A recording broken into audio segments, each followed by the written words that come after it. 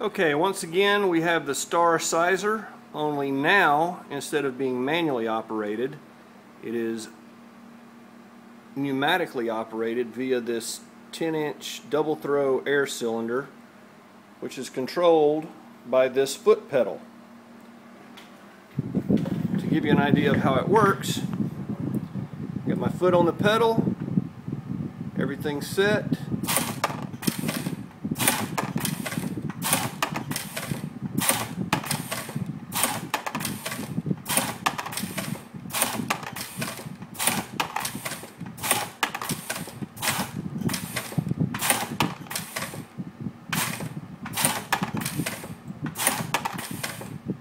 So you can see it's not quite as fast as I was able to do it before manually, but I don't have to wear my arm out sizing and lubing bullets.